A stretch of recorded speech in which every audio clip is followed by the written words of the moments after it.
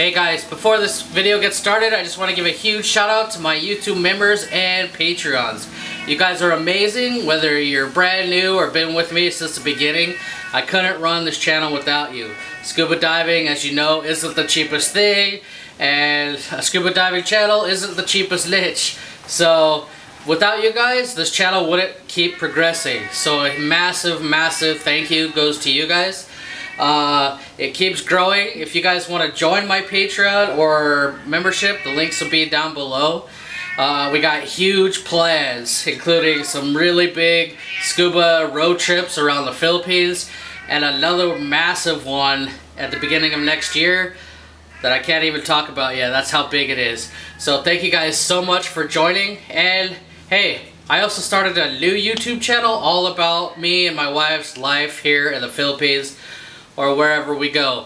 Half of you guys wanted to see scuba diving and critter only episodes, and half of you guys wanted to see my life here in Philippines. So, to make everybody happy, I just made a new channel, one for each. So, again, thank you guys so much for your support.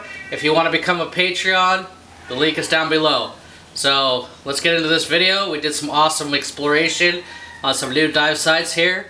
So, let's get into it. Hmm?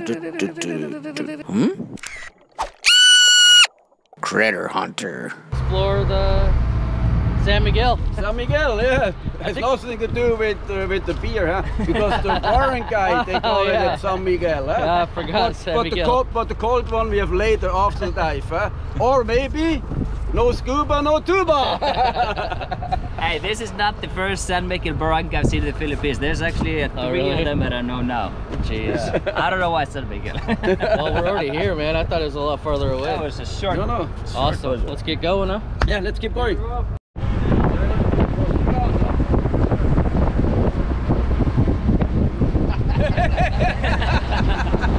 so we're gonna go explore a new dive site. Not new, new for us. So how was your uh, first boat dive in Dauin? Uh, it was cool, man. You come from uh, Cebu, huh? Absolutely. You own a dive resort in Alegria? Yeah, I own Alegria Dive Resort. And uh, with lots of critters here, huh?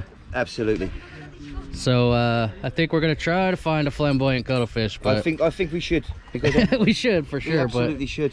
And I, I want I want to see a pygmy. Pygmy what? How are you? A pygmy seahorse. Oh yeah, that's not happening. I've I've been searching for pygmy seahorses and I've yet to find one. Well, we could have went to the pygmy spot, but that's not today. Well, I didn't know you, you know, were, but you're looking got, for everything. We got three guides here, and we got the guru. Huh? Yeah, but there's no, uh, there's none on this site. Never, never say never. You want to see a never say never. Never say never. Yeah, now there's going to be four. Come on, guys. Look, I've never seen a pygmy in my life. Only on photographs, like what you sent me. But what about a uh, flamboyant cuttlefish? I've seen one of them before. oh, really?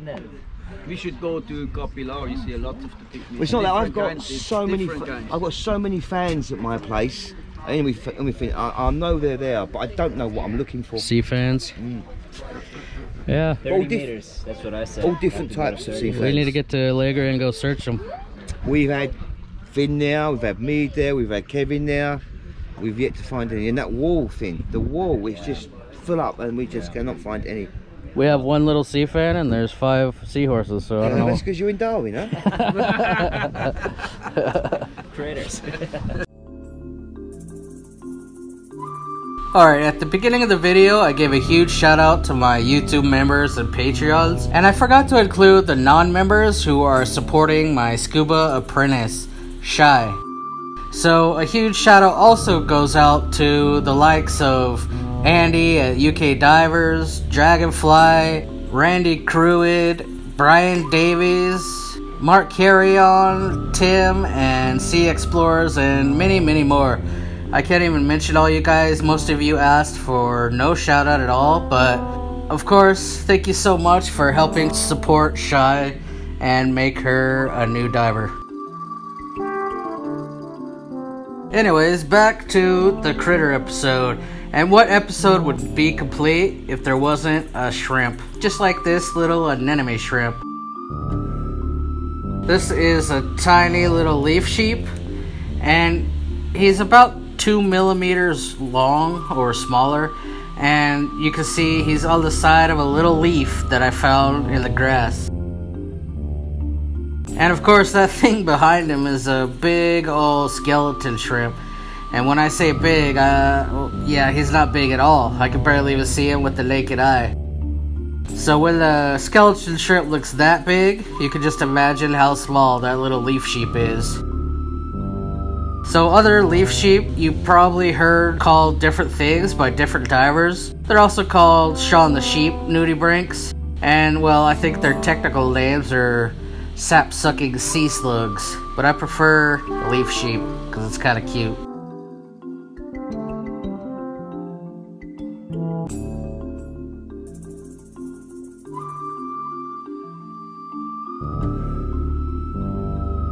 So on this dive site, it was a really sandy bottom, which most divers would think is kind of boring. But everywhere I looked, there was something new to film, including this little sea slug. I have no idea what kind of sea slug it is, but they're so colorful and photogenic.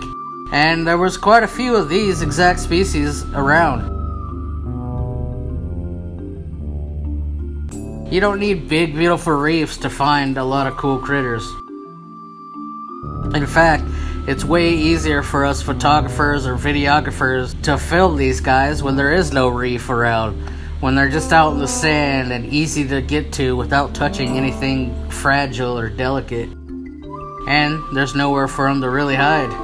Not that they need to hide. Nudibranchs and sea slugs, they don't really mind the camera either. The thing about the sand this time of year is there's sure a lot of those skeleton shrimp around. On another leaf, I found this little weird fish, and I challenge any of you to find the name of this species. I'm pretty sure he's just a juvenile of something bigger, so there's no way for me to find out what that guy is. But he is really cute. In slow motion, zoomed in all the way, I can see him flicking his little fins around while he stands on them. He's pretty cute, and he thinks he's safe on the side of that little tiny leaf. In length, he's probably less than a centimeter long, a lot bigger than the leaf sheep, but still real tiny. I mean, I'm zoomed in so much you can see the grains of sand on the leaf, and of course his little mohawk.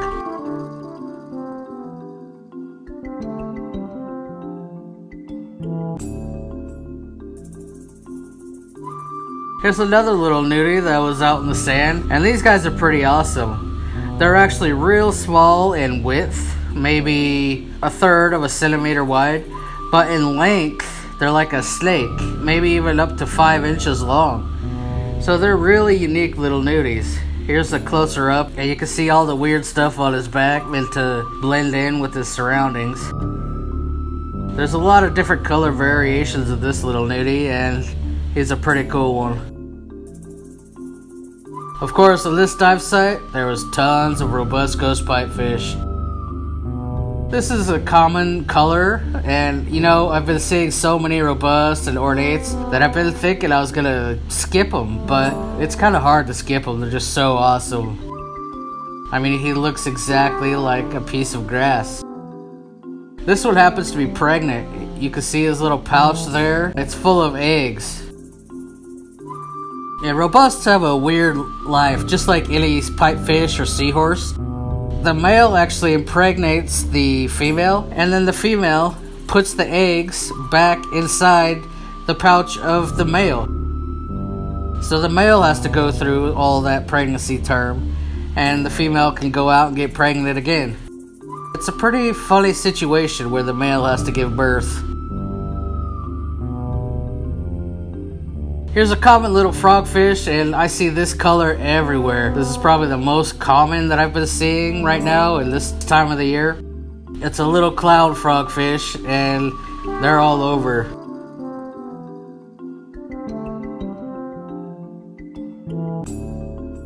If you look really close, he's actually using his lure, and he's playing with that big shrimp right in front of him.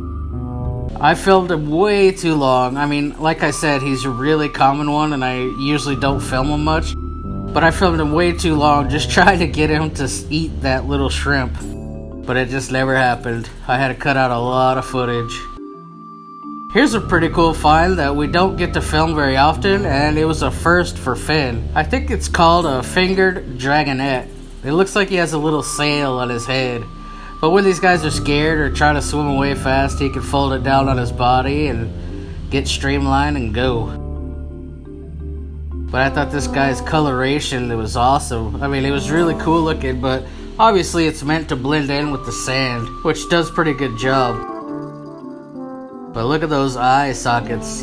The retina is really small in the middle, but the entire eye is moving, and he probably has a huge field of vision because this whole socket's like moving back and forth. Anyways, pretty cool species and a really unique find compared to most episodes. I haven't seen him before.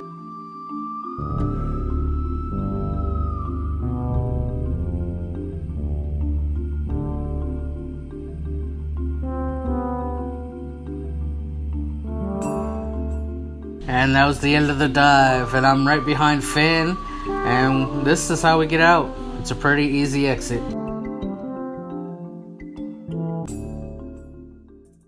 Don Don, how are you? I'm good. So is the Drinking coffee. you're uh you guys came from Alegria to dive with us? Yeah.